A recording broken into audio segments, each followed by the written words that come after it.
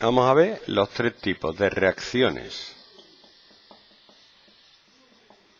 nucelares que hay. ¿Vale?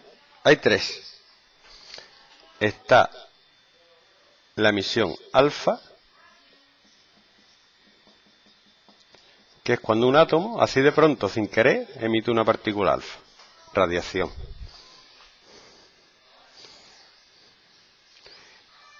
Y lo que hay que saber es que una partícula alfa es un átomo de helio que tiene sus dos protones y dos neutrones, ¿vale? Eso es una partícula alfa.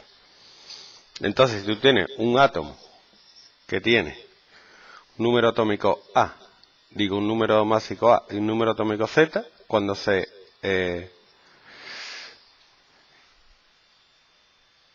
se descompone nuclearmente, te queda otro átomo que tiene, claro, si pierde dos de estos, pierde dos en el número atómico y cuatro en el número másico. Y te sale un átomo de helio. O queda más bonito poner esto. Esto es más bonito. Eh, ya es otro átomo porque cambia el número atómico. Más una partícula alfa. Te fijas que es otro átomo que corre en la tabla periódica, porque pierde dos protones, ya no es el mismo átomo que tenía.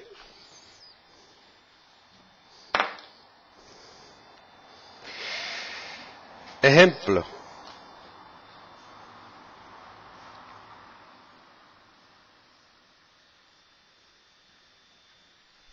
Dice el torio de número atómico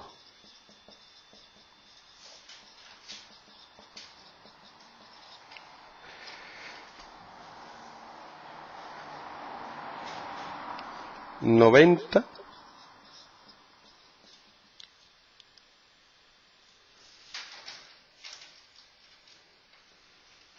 se desintegra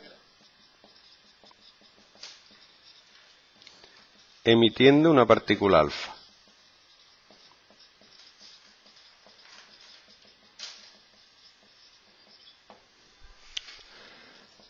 Si su número másico es 232, escribe la reacción.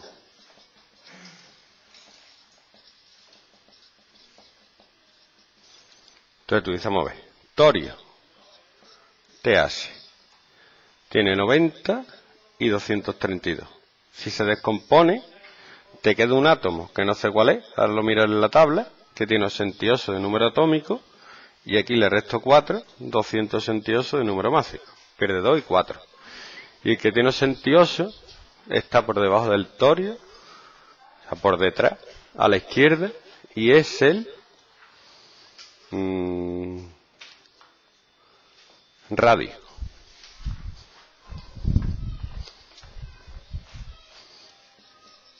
Y se mide una partícula alfa, que si quieres lo pones así. Tú fíjate que esto tiene que dar 2 más 88, 90, y 4 más 268, uy, 268. 228, 232. ¿Vale? Mm. No. No. Veremos. No sé si te pedirán una tabla periódica o no. No lo sé. Si te la darán o no. Pero tú con saber que tienes la tabla delante, luego ya veremos lo que te ponen en el examen. Bueno, pues esta ley se la llama ley de Sodi. Sodi.